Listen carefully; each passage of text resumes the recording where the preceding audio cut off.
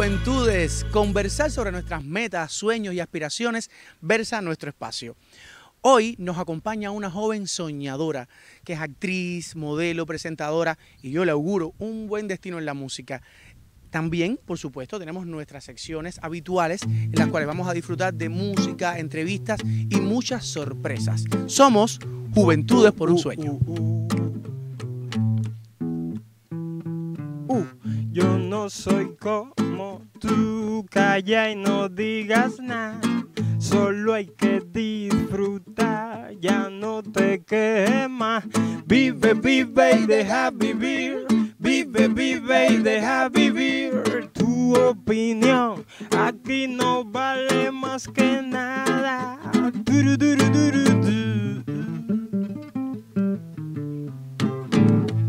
No soy como tú, solo te interesa la imagen pública y pisar al de atrás. Vi- Vive, vive y deja vivir. Vive, vive y deja vivir. Ya tu actuación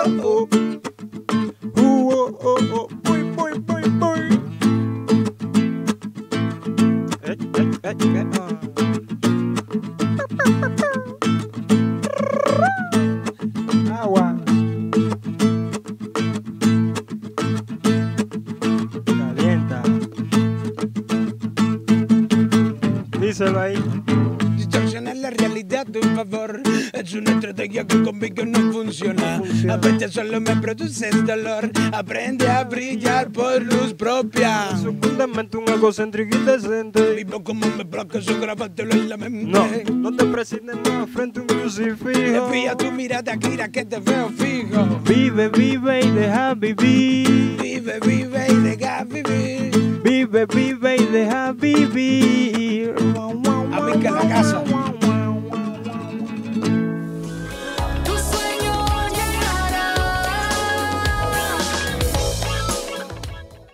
Y ya conversamos con Lacey Cejas. Bienvenida a Juventudes por un Sueño. Qué rico tenerte aquí en casa con nosotros. Ay, muchas gracias a ustedes por, por invitarme al programa. Es un honor. Es un honor para nosotros de verdad. Eres graduada de Ingeniería Industrial en la CUJAE por curso de trabajadores. Sí. Cuéntanos esta, esta, etapa, esta etapa de tu vida de, de estudios y superación.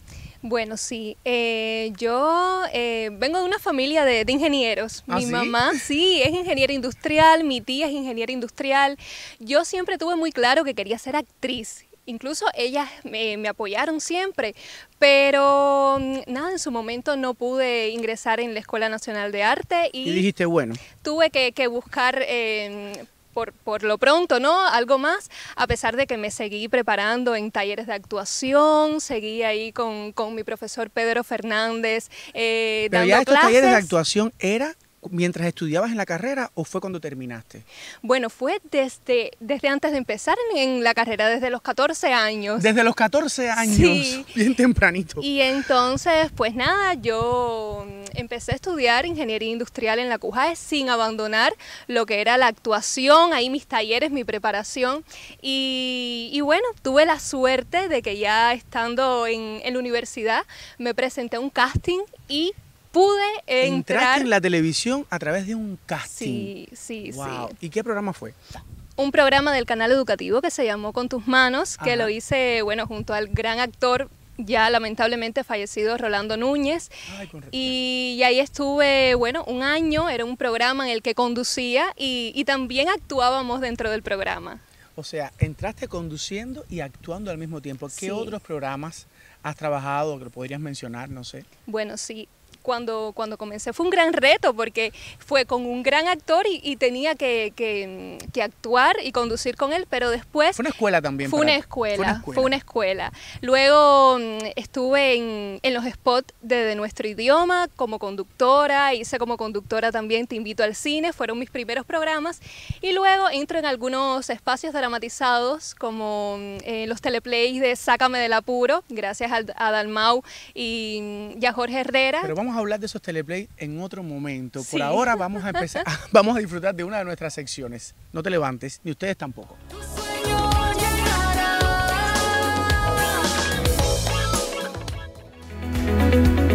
La masculinidad es la forma de ser hombre que la sociedad ha pautado como válida para los- las personas que han nacido con un sexo biológico masculino, ¿verdad?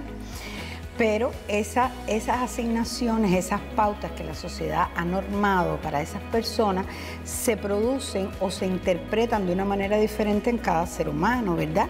Porque no es lo mismo un hombre, por ejemplo, que ha nacido en el campo a otro que ha nacido en la ciudad, no es lo mismo un hombre profesional que un hombre quizás que tenga otro nivel cultural, no es lo mismo un hombre eh, quizás con una orientación sexual heterosexual que homosexual. No existe una sola masculinidad, sino muchas maneras en que los jóvenes, los hombres en sentido general, pueden vivir su masculinidad. En este caso no estamos hablando más que de los roles, los atributos, los valores, las características que cada sociedad asigna a los hombres y para de esta manera definir qué es, en Cuba le llamaríamos un macho varón masculino, en otras sociedades quizás un macho alfa u otra denominación. No es lo mismo las personas en los distintos momentos del desarrollo eh, eh, psicosexual, es decir, no es lo mismo un niño, un adolescente, un joven, un adulto, un adulto mayor. La manera de interpretar esas normas sociales es diferente para cada ser humano. Estamos planteando que existen en determinadas sociedades masculinidades diferentes, hombres que pueden cuidar su cuerpo, hombres que pueden insertarse en la vida social, hombres que pueden pertenecer y compartir, importante, compartir las actividades de la casa, la crianza, el cuidado de los hijos.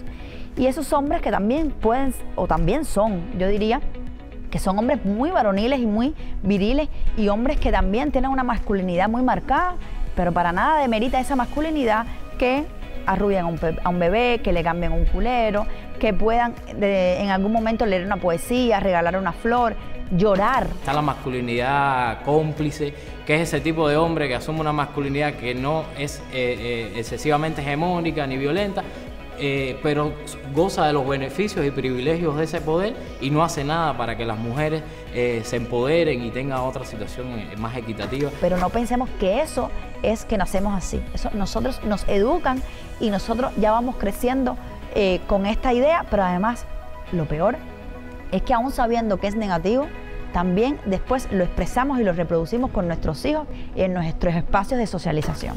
Está la, la- la- la ma- la masculinidad subordinada que tiene que ver con el tema de la orientación sexual, cómo grupos de hombres heterosexuales discriminan a grupos de hombres eh, homosexuales. Es la manera eh, de ser hombre que está prevaleciendo concretamente en una época determinada. Esa es la masculinidad hegemónica, que no es la misma quizás la que existen en estos tiempos que la que existía en el siglo XVIII. En este caso, reitero, exige una mirada crítica, que te revises por dentro, que revises tus emociones, tus sentimientos, pero también que revises la manera que quieres ser, cómo quieres ser, cómo quieres que te vean otras personas. También necesitamos ayuda, no podemos asumir este cambio solitario. Todo cambio desde el punto de vista psicológico, desde el punto de vista social, debe estar acompañado por otras personas, por otras personas en la familia, por otras personas que pueden ser nuestras amistades. En esencia, para cambiar las conductas machistas, para cambiar nuestras conductas violentas, debe haber compromiso personal, pero también debemos recibir ayuda de otras personas. Sin embargo, también eh, una forma de discriminar por orientación sexual a otro hombre eh, es eh, decirle de que no es macho, no es varón, es masculino, porque tiene una orientación sexual diferente a la heterosexual. Y es una forma de discriminación cuando es algo totalmente, totalmente falso. Una persona que tiene una orientación homosexual, orientación sexual homosexual, puede ser una persona totalmente masculina, no pierde ningún, ningún tipo de atributo sobre su masculinidad. Y la buena noticia es que si lo aprendes, lo puedes desaprender. Por lo tanto, no hay que ser machista toda la vida. Es decir, se es machista a lo mejor porque pa- para eso nos educamos, pero si aprendemos a conocer lo que significa el machismo y lo dañino que puede ser para las personas, podemos desmontarlo. también pensemos que la familia es un muy buen espacio para también deconstruir esa construcción social de machismo y de, y de masculinidad.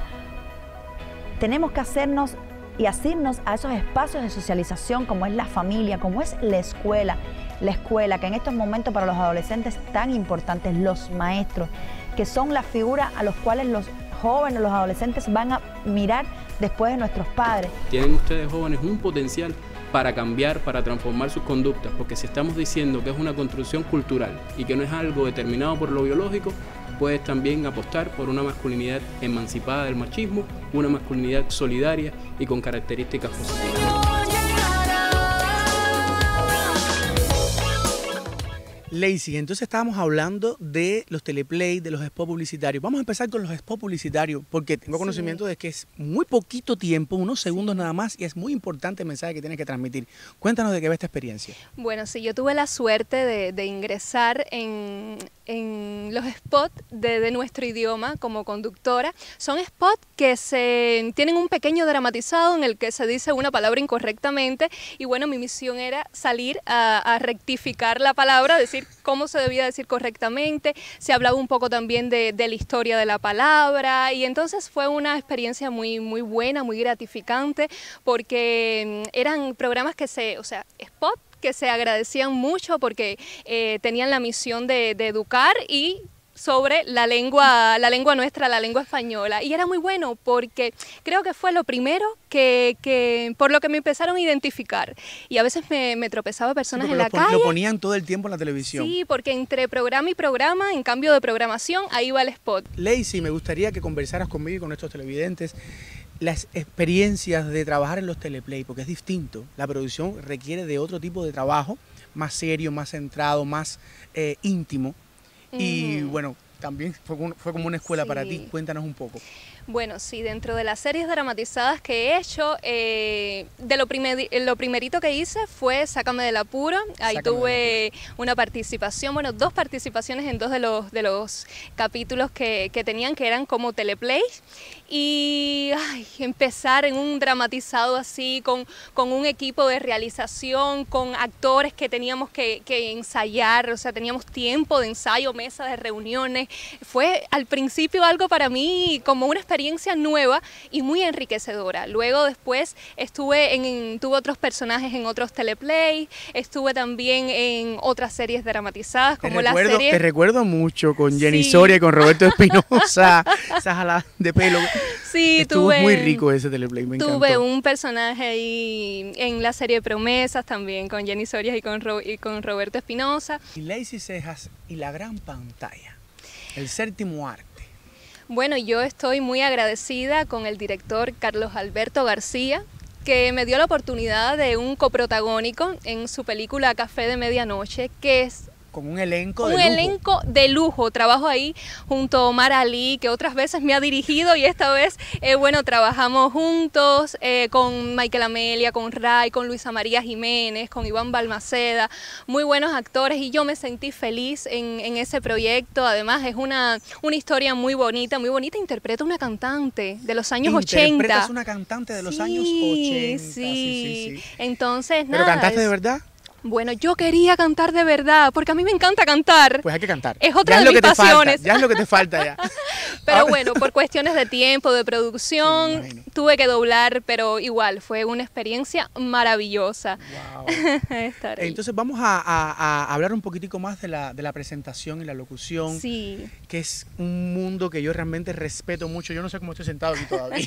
estoy sentado aquí porque mi Elizabeth del alma, que la extraño muchísimo, tuvo unas necesidades y estoy yo disfrutando de esta energía tan linda que tiene Lacey. Así que gracias. cuéntanos, cuéntanos a mí y a los televidentes sí. cómo te desempeñas, cómo, qué se siente. Bueno, yo desde el 2015 que empecé, empecé haciendo conducción en este programa que te comentaba con tus manos. Luego vino de nuestro Sí, idioma, porque que has hecho también, muchas más cosas. Sí, eh, estaba como conductora. Inicié el programa Te invito al cine en su etapa de verano. Lo inicié también eh, como conductora y luego fui haciendo otros programas también. Pero la conducción te vino porque tienes una voz muy linda, muy buena dicción, porque te gusta, porque te sentías identificada con eso, o porque tú dijiste, voy a intentarlo. Siempre de manera natural, a mí me ha gustado expresarme.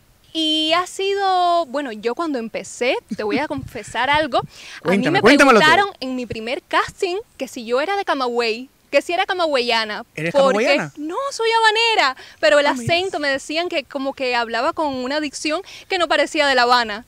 Ah, mira. Parece que no sé, por familia, porque mi mamá en algún momento fue profesora también, y sabes, eso a veces se, se toma de, de- de la familia, y, y nada, y así la conducción se me daba de manera natural y además me permitía ser yo misma, eh, sabes, cuando actúas, interpretas personajes, pero cuando conduces eres tú mismo. Eres tú mismo transmitiendo un mensaje. Transmitiendo un mensaje, exactamente. Y tuve la posibilidad de, de, bueno, eh, hice otro programa que era dramatizado y también tenía conducción, el taller de Peña, que El fue del, de del Peña. canal educativo.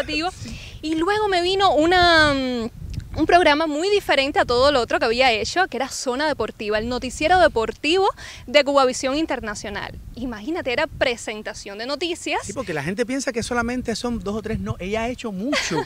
ha presentado muchos y, y muy variado todo. Gracias. ¿Cómo es Lacey en el mundo del modelaje? Porque te hemos visto en muchísimos videoclips. Bueno, o sea, la música está ahí. Sí, sí, sí. la, música, está ahí. Ya pronto espero verte en tu propio videoclip cantando y defendiendo un tema. Cuando he hecho como modelo en, en algún video, también he tenido que actuar. O sea, he actuado Es también, es actuar. Entonces, eh, son historias, ¿sabes? Lo que se cuenta en videoclip en, en un corto periodo de tiempo en el que no hablas, pero, pero interactúas, actúas y ha sido una experiencia muy bonita, muy bonita. Además, actuar en, en, en un video musical, o sea, donde haya música, eso es... Me fascina, me fascina, porque luego pongo en mi casa la, la canción porque me gusta ¿no? y, Y, la, ahí, y la y ahí visibilidad que te da en todos lados porque te ponen en las discotecas, en el canal clave, estás en internet, entonces también es, es una manera más eh, inmediata de verte todo el Así tiempo. es, y yo le agradezco a Alexis Oliva, que ha sido el director que, con el que más he trabajado en, en videoclip, también hice con Santana, con Cale Polo, y, y fue, han sido experiencias muy buenas, muy buenas realmente.